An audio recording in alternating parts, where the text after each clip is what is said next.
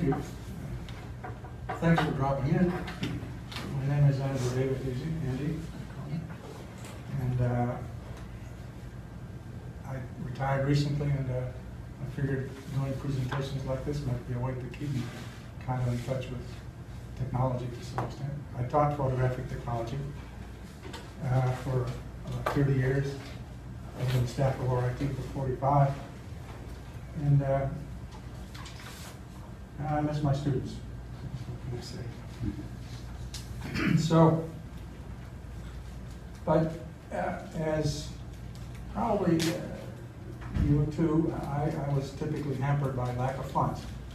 So I've had to improvise, simplify, and go to fundamentals instead of state of the art. And my uh, objective typically was to explain how things work, and get students hands-on experience with uh, making things, with uh, running experiments, making measurements, and uh, drawing conclusions from, from analysis of, uh, of photographs. Uh, although I taught at a photography school, which is primarily a- an art school, uh, I was sort of the lone technologist there. Felt like a fish out of water, but it was good because nobody knew what I was doing. And publishing kind of kept me uh, at, at the forefront of activities of the school. So, so it's been a good, it was a good thing. Um, and uh, among uh, my interests were high-speed photography. And uh, some of the photographs you saw out there uh, relate to other things in high speed, like infrared, ultraviolet, and, and visualizing density gradients in air and so on. Uh, so those are technical applications of photography. And, uh, but among those, the ones that I mostly uh, enjoyed was uh, high speed. In the area of high speed photography, there is something called streak photography or streak imaging. These days, it's analogous to something in uh, phone cameras called, in other applications, called slit scan. And it's kind of a misnomer for a bunch of things.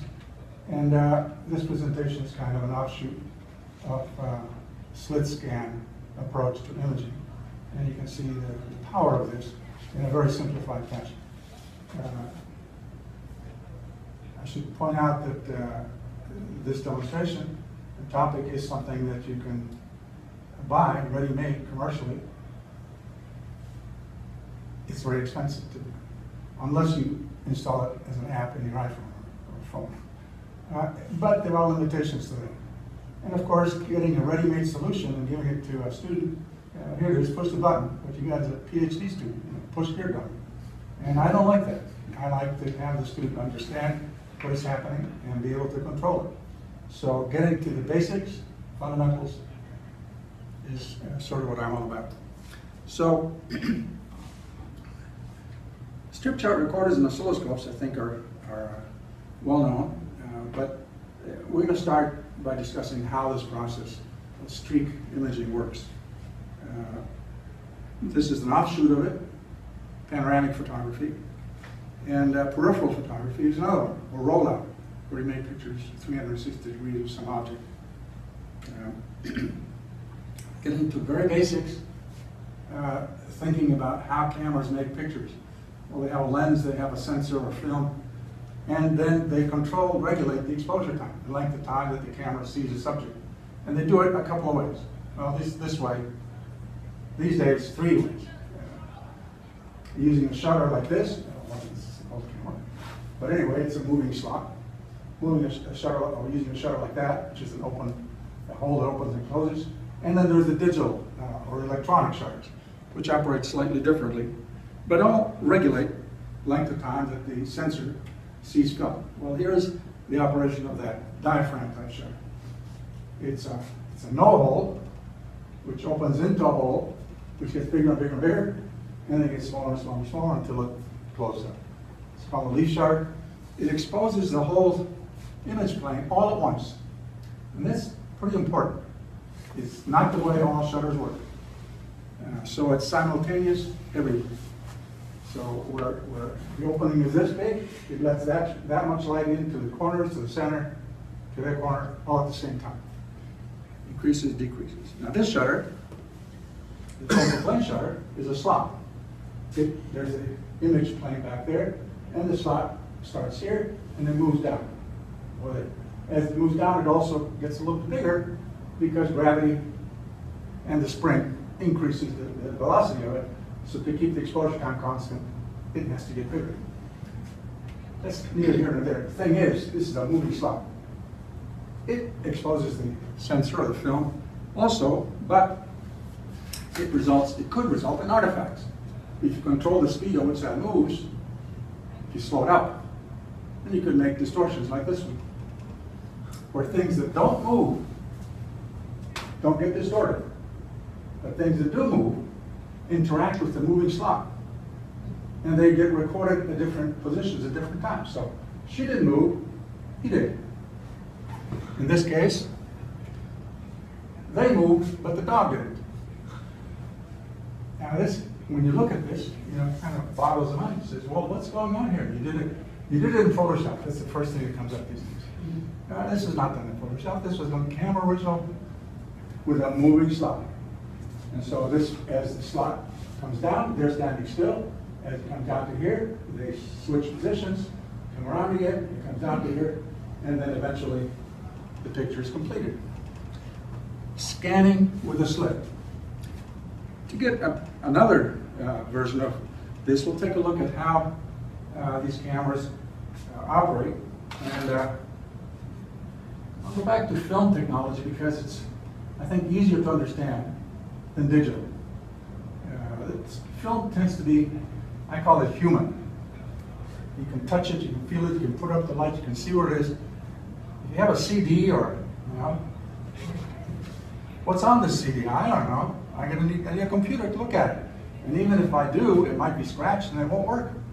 Whereas film, it might be scratched, but you can still get an idea of what it is, right? So I call film human uh, uh, device, whereas computers are not inhuman. In many ways, more than ways than one. So a to be memory. Essentially, that's what it is. It captures like uh, photons, light, and it stores it. And, uh, and it gets used up. It is a you know, usable material. So we set up a system that, that's like this. Here's film in the back. This is memory. And it'll move. It'll move past an open slot. When it passes past that slot, it sees whatever is there, stores it in memory, and it moves it that way. So you can think of it, this is the past, okay? it has passed here. This is the present, and this is what's to come. Let's put a signal on there. Signal is an image of some kind. So put this signal, which is a, a white bar, or a lamp or something, this piece of it, okay, falls onto that slot. So as the film moves past here, remember, it, it remembers what it sees here. It records it, and it stores it and passes by. So eventually, when you look at the, at, at the, at what you have recorded, it'll look something like this. Oops, no, but a line that goes all the way across the length of the film.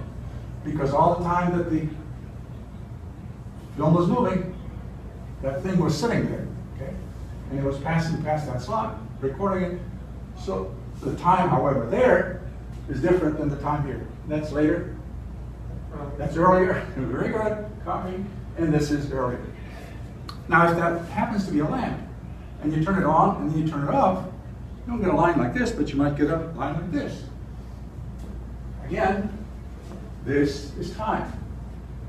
What can you tell from it? Was it a lamp? Was it a piece of whiteboard or what? You can't. All you can tell is that this, whatever it was, lasted this long because this is time. If you knew how fast the film was moving, you have a time base, and you can then figure out what the length of time was that that lamp was turned on for.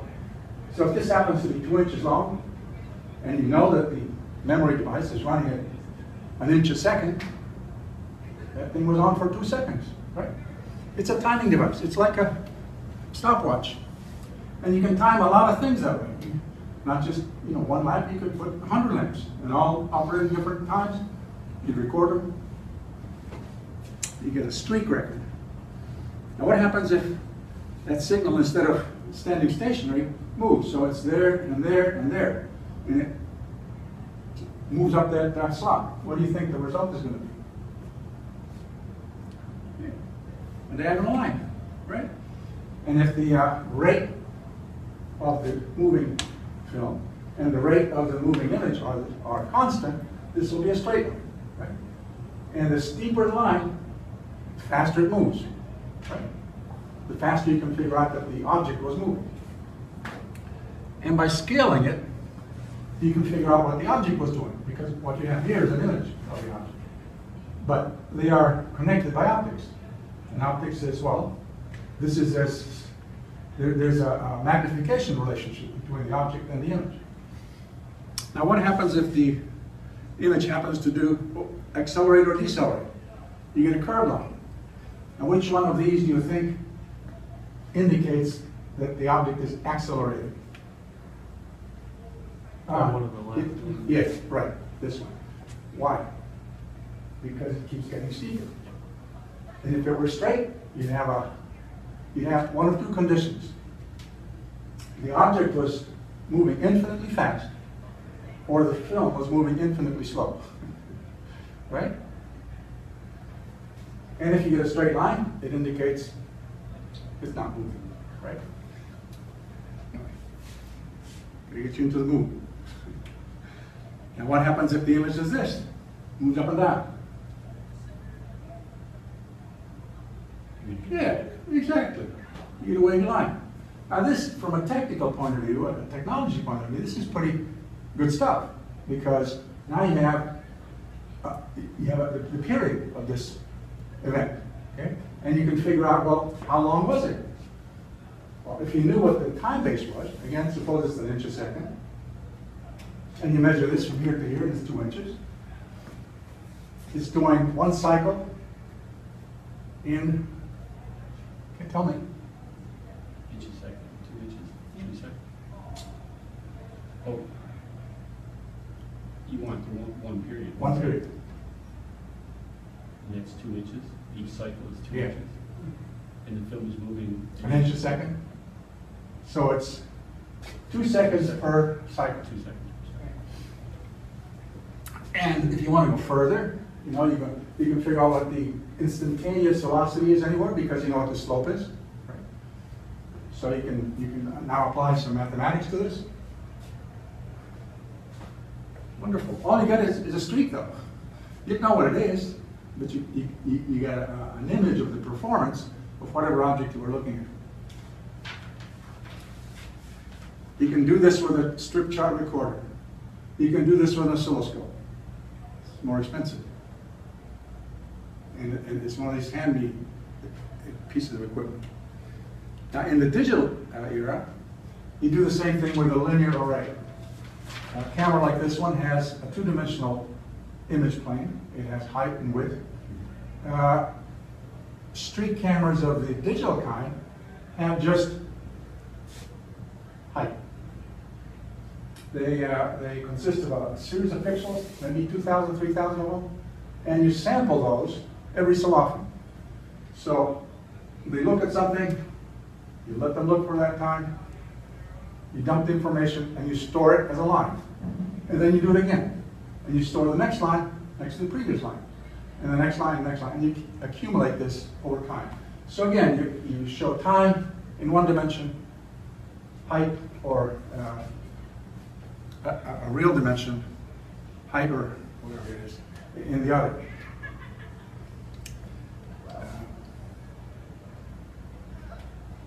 And you can, you can make pictures like this. These, these are objects that are twirling on a turntable, uh, vertical turntable.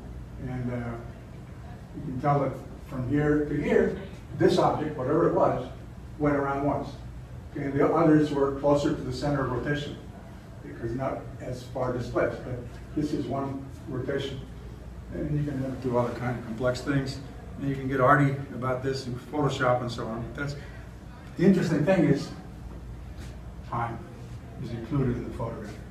These are truly time pictures. They're, they're not what we normally consider instantaneous. So here's what we're talking about. The strip chart recorder and the oscilloscope.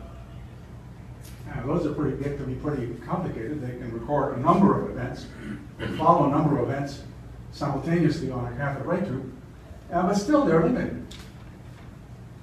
Uh, this one is even more limited because it's typically limited to just one point. Okay, you can monitor voltage or resistance or whatever it is, and displays it. Time in one dimension, time in another dimension. These are kind of slow in terms of time. These are very fast in time. So they, they give time resolutions of maybe a centimeter per microsecond, or maybe even better. So if you want real fast events, you go with that. If you want slow events, you go with this. Lie, lie detectors are like this. EKGs are like this. Uh, when you're trying to do uh, photonic experiments, you go with something like that. So really, what, what these cameras do, these streak cameras do, they operate sort of like these do. And what I'm going to do now is to show you how to do it with a, a regular DSLR, what they call DSLR, digital single lens reflex camera. Uh, A lot of people have them, you, you guys have them. You can do this. The first thing to do is to eliminate one of the two dimensions that the camera is sensitive to. So we'll eliminate the width dimension. We'll concentrate on the height. The way we do that, you put a mask in front of the camera. You know, black mask over here, the camera here, leaving a slot in the middle. So now, even though the sensor might have 3,000 pixels horizontally, we restrict it to only like five or 10 or whatever we can do with that slot, right? then what we do is we turn the camera one way, put the slot at one edge of the frame, and then turn the camera the other way, and the image of the slot will move across the focal plane. So as it does that, it scans itself across the 3,000 pixels. Let me just show you, I think, if I remember, uh, what happened. So, one thing, that, that's fundamental. But as you pan the camera, what you'll notice is that objects in the foreground and the background tend to displace or, or misregister each other. So, in order to um, keep information on that slot constantly on it, something that's behind it, you need to turn the lens about something called a nodal point. More, the cameras normally are turned around the tripod socket. Well, if you do that, then this is what happens. When you aim the camera through the slot, what is the box here with the slot? And you see a pencil there. You aim the camera one way, the pencil disappears. You aim the camera the other way, the pencil disappears. If you turn the camera about the nodal point, notice that pencil is on the slot, it's on the slot, it's on the slot. So you're looking at the same object in the background compared to the slot itself. And I'll show you how that works in a little bit. To make the camera turn about a point which is not the tripod socket, you use something called a parallax bar. Anything that allows you to put the axis of rotation somewhere else. I made a wooden gadget like this. This gets attached to the tripod, the camera gets attached here. Because you have the slot here, you can move the camera back, or forward, wherever. The tripod turns here, but the camera is attached here. And these sometimes are available at uh, surplus stores and so on. Uh, They're ready-made parallax bars. Now here's what I mean. There's the uh, wooden one that I made before I realized that I could buy a metal one for cheap.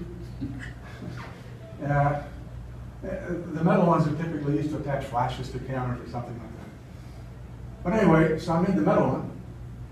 And look, here's the, the the parallax bar attached to the tripod. This is what's gonna turn. But here the camera's way back.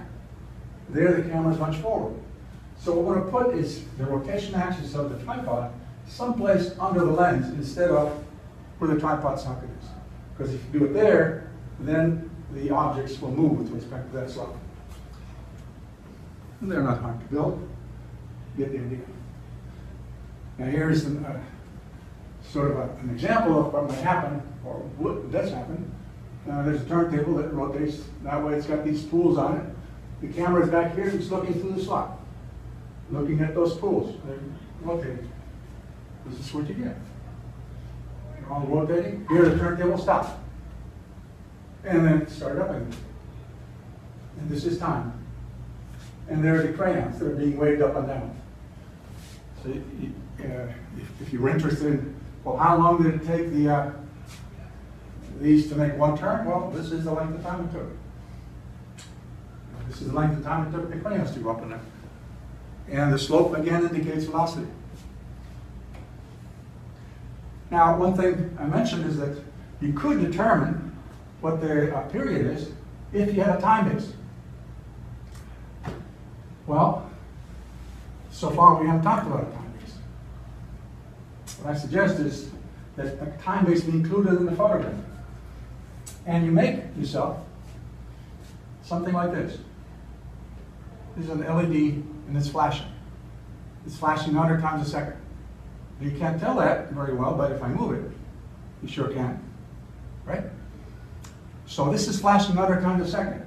If we take this and we include it in our photograph, we'll have a time base because the blips of the light will show up as hundredths of a second apart. Yeah. So here's, and, and you can, you can time them by using, sim- by timing the uh, uh, LED by using the shutter on your camera. So you could wave it around and you set the shutter speed of the camera to some speed. And uh, you count the number of blips that you get. Uh, in a hundredth of a second, well, you can get one or two or, some- or none, uh, because the error is pretty significant there. You know?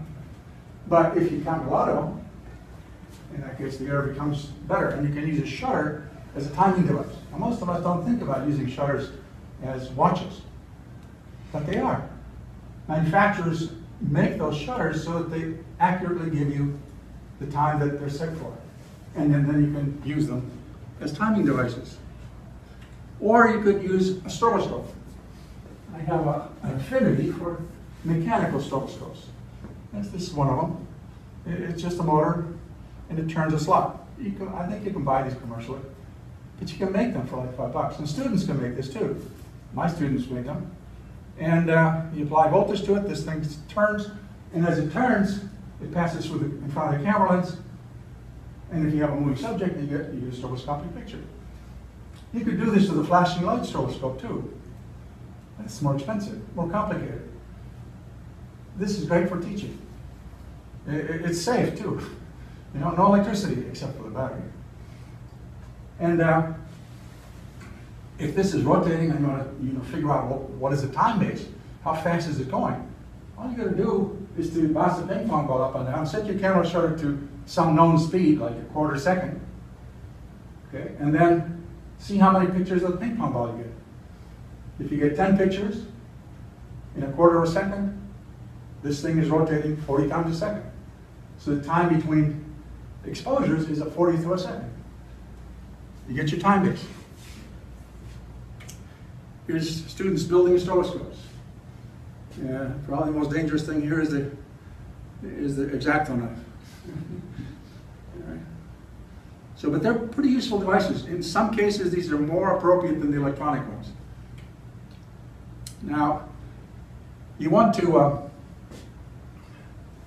uh, you can also time uh, how fast the stroboscope is turning by including it in your photograph that you make with the panning camera. You put the uh, light of the stroboscope in front, and uh, you, you pan the camera past the slot, except you have to time it right.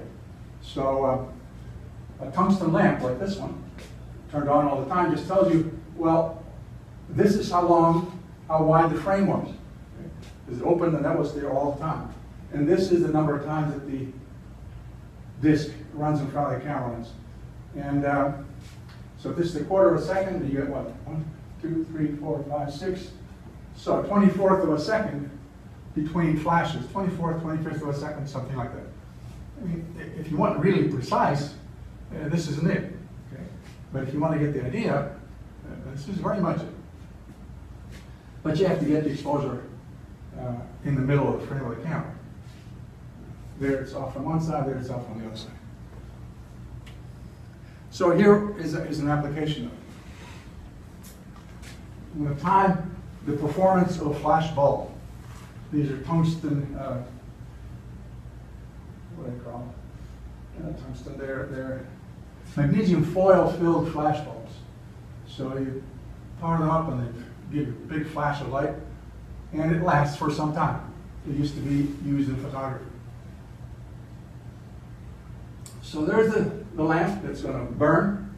This is the thing that's allowing light to pass through the slot. The camera is on the other side of the slot. And uh, this is the stroboscope that's running. It's running every, turning every 25th of a second, 25 times a second. So we got our time base here, and there's a flash that went on. In this case, time is going this way. So it got very bright at the beginning, and then it decayed in output. Well, if you use an oscilloscope and a photometer to do this, you get a curve. You know, it goes like this. In this case, you get a visual uh, description of what the flash did. And you get some other information about, you know, the little pieces of um, material that are still burning. And you get an idea of how long the peak output was, how long the total output was, how it decayed, and so on. Useful stuff, and it's done very simply. In this case, uh, an examination of are things simultaneous or not. So two cameras are, are set up. Uh, students, one student fires one camera, the other one fires the other one, and each camera fires a flash. There are the flashes. There's the uh, stroboscope running, giving you the time base. And the idea is, uh, you tell one student to fire the, the camera and ask the other one to do the same after, you know, as quickly as possible after they hear the first one. Testing reaction time, sort of. You're not testing this, you're demonstrating, you're, you're, you're getting people to think. So, um, one flash fires, this could have been the first one or the second one, I don't know. And this is the other one. But there's a, a little timeline. You say, well, how long of a delay was there? How long did it take the second student to respond? Well, gonna say one, two, three, four, five, and some, maybe six, six twenty-fifths of a second. Whatever that is. It wasn't instantaneous. That, that's what you know. Because if it happened instantaneous, they'd both be in the same place, right? But there's displacement. So, again, you're looking at time. And that's the powerful thing about streak, streak cameras. And I think, are we doing, we're doing good. So, the idea now is to, is to go to a demo. You, you, you ready for that? Um, that's my website up there. And um, if you add a slash uh, articles.html, in that case you get to a whole bunch of articles, a hundred or so, that describe basic uh, applications like this one, or, or uh, situations where uh, you can use a camera to make measurements. And the very, I think the very first article right now is the one that deals specifically with this particular topic. Maybe it's the second one. So what we're going to do, since uh, uh, it's important that the, the camera, uh, which is making the panning and moving that slot across the focal plane of the camera, uh, not record other anything other than what's on the slot, that we exclude light from the back from the camera itself. So the camera's in a box, and uh, it looks like this. So the, the top view, you know, from here, and the front view is just a slot, and the camera's in the back over here, and it's set on a parallax bar. Uh, you could you could use a, a manual panning uh, device, like a tripod itself, a tripod head, uh, but it's fairly important that the parallax bar be used, and I'll show you how that works. Uh, again, I spared no expense in securing this box. um, it's not intimidating, I hope. So here's the, uh, the box itself. Uh, there's the, the slot. The slot is actually quite fine. It's uh, maybe a millimeter or so, maybe two. Uh, you can see it there, even better. Uh, there's side baffles uh, about here in the middle of the box. That's because sometimes light goes through the, through the slot and falls onto the walls. And if the camera's aimed at the walls, then they would, then they would expose, there's sort of double expose the sensor, so you don't want to do that. Uh, so the baffles accommodate that. And there's this loose fitting baffle back here to prevent the light from as much as you can to- from going into the box, because you want to keep that pretty black. Uh, Here is the manual rotation device, and there's what we're going to use, which is a a motorized uh, device. So this works. Uh, The only thing is keeping it steady is a little difficult. But it doesn't matter. Uh, You can still get information even though the movement is not steady. In that case, movement is a little steadier. So I guess that's it for that. Now, get this on. Check this one. Because you're gonna get to see what the, what the camera's looking at. You put that on the screen, so take the output of the camera, feed it there, and you'll see what the camera's looking at.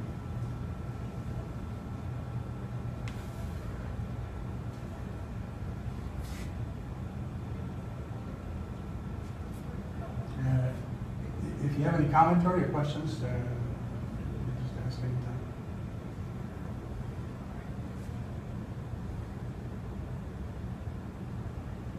If you should uh, go and visit this article uh, that I mentioned, and uh, at the bottom of it, there are references to links to other articles.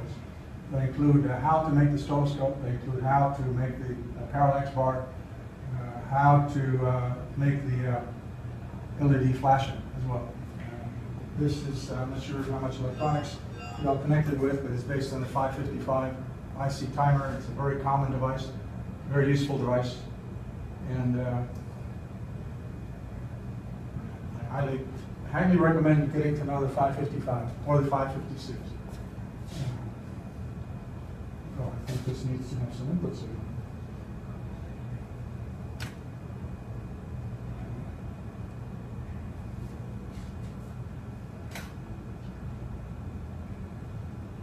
It's good and black in it. So now we're gonna, let's turn on the light. Uh, abracadabra.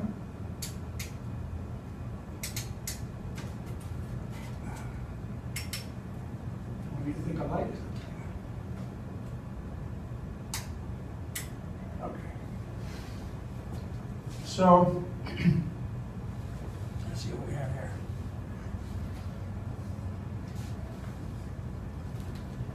Could I ask you to move up here? Yep. Uh, put you in control of the camera.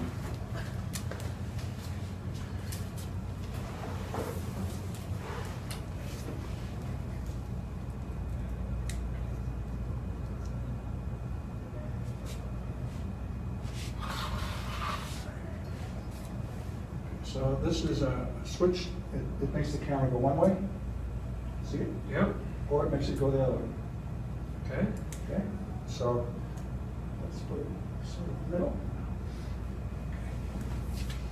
Okay. And put this in my view.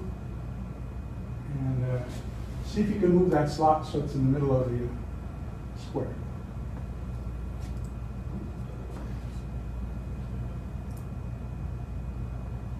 Okay. All right. So now we'll put the subject in here. And there it is. Okay, now, the camera is not on a parallax bar. It's just attached to the uh, tripod socket and it's turning about there. So make the camera, camera turn one way. It, it disappears. Now go it the other way. And it disappeared again. Right? It's not, all, it's, all, all that's happening is the camera is either looking to the left of it or to the right of it, and also to it in the middle. So we're gonna add a parallax bar, and we'll see how things change.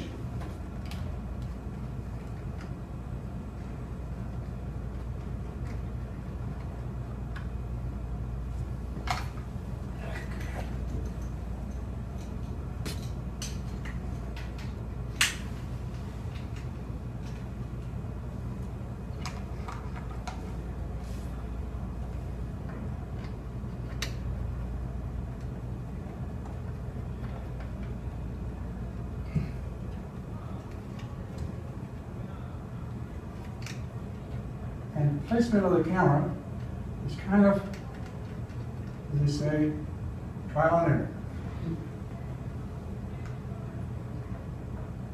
Okay. So, let's try it. Move it one way. You can still see the nut there. Okay, go the other way. We're keeping the nut in view. Yeah, almost. Okay, let's move the camera forward just a little bit.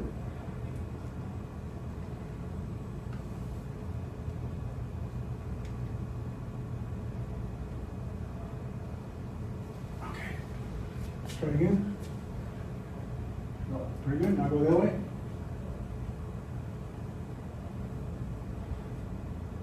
Keep going. Uh, Pretty good. All the time that it went across, that wooden stick remained in, in view, right? Okay, now, we can put our LED here. Well, I'll tell you what. What we're gonna do now. okay?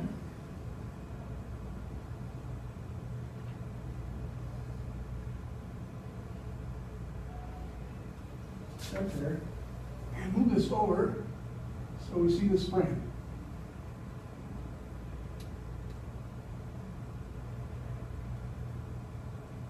It's about there, right?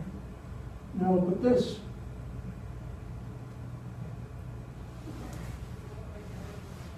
Hmm. Ah, Thought that it was high enough so we could see it. All right. I guess it'll have to be bent.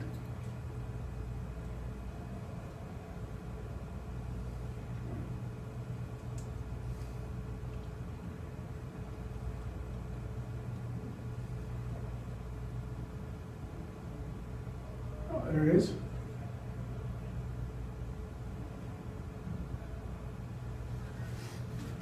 Okay, now, I guess I can't do, I guess maybe I can. Take this, okay, move this, the image off to, one side. Okay, right there, that's good.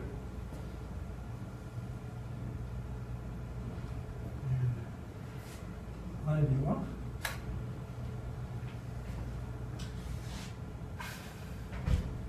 And we'll make this thing bounce up and down.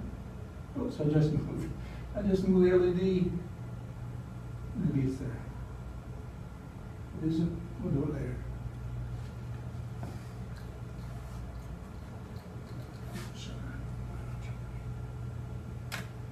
Move the camera.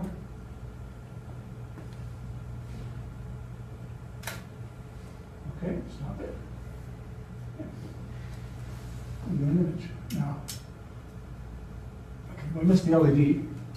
However, we did get the bouncing plate, right? Uh, I'm not that happy with it because I'd like to actually see the LED. So, I'll Reset a little bit.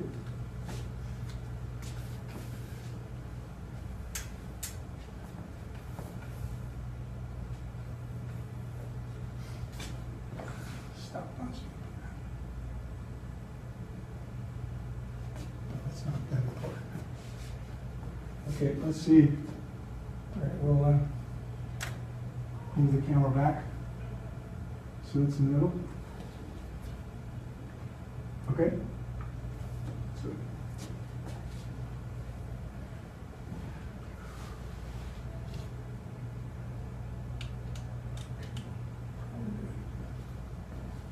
Line it up again.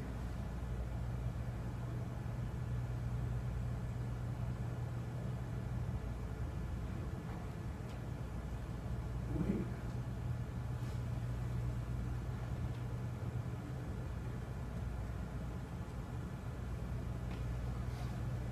LED. Let's see if we can name it a little bit more.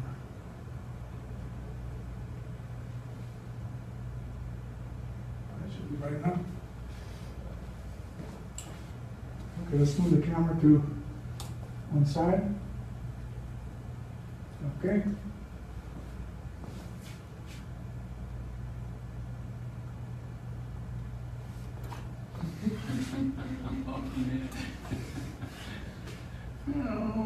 Okay, let's get it back to the middle.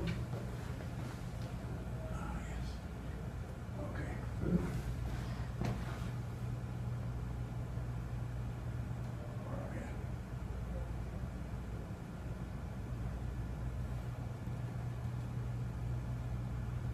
I think I'm gonna start to get it, get it going before I, uh,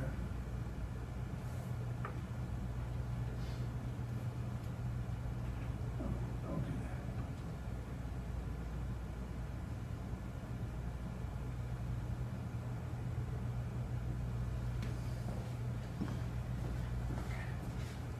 Very good. Do this.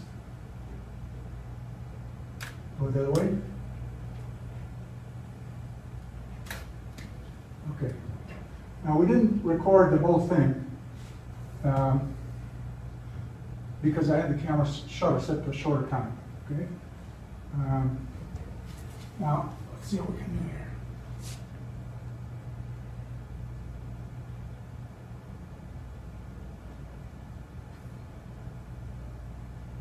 Look at the timing. Okay, it's a little too close together, right? Mm-hmm. So we'd like to maybe stretch those out a little bit so the timing becomes more evident. What we'll do is make the camera turn faster. Okay.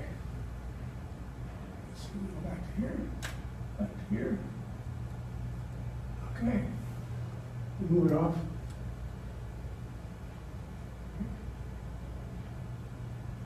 Good. And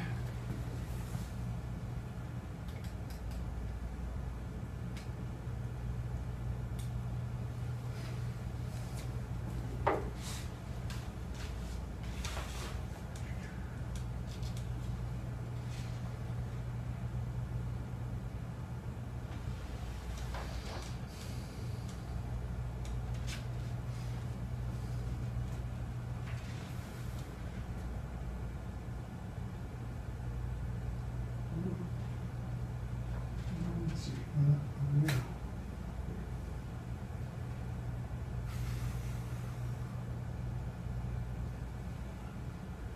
Chicken.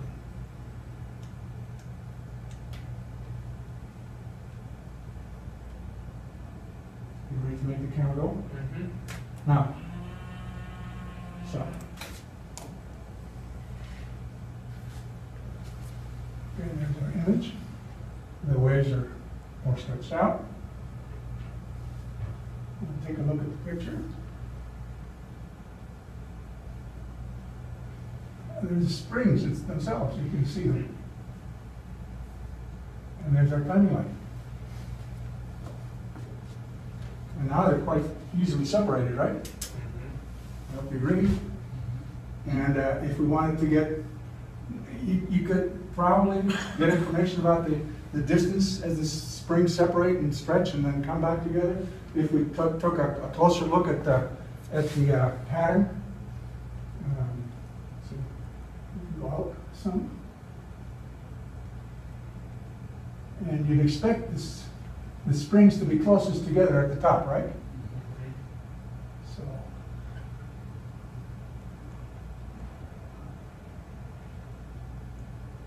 Let's see if they separate. Oh, they separate.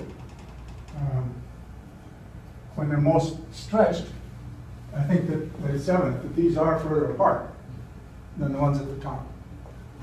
And if you wanted to get a, an idea of what the period was, well, it's a matter of counting those, uh, counting those, uh, hundredth of a, hundredth of a second flashes, right? So there we have, from the bottom to the bottom, one period, you make a measurement, you can apply math to this. To your heart's content, uh, and you've done it with a box and a panning camera. So you've made a oscilloscope or a strip chart recorder and your regular DSLR camera. And that is it. I hope I entertained you. That is really cool. And uh, it's a thing that I've been playing with for the last uh, few months. Yeah, I thought it was, wow, Yeah, sure, you probably can't use it in a classroom, right? But, but if you can think about it, you can think about what you saw, maybe there's something that you can do with it. Uh, So again, thank you. Thank you for putting up with me. Thank you. Thank you. Thanks.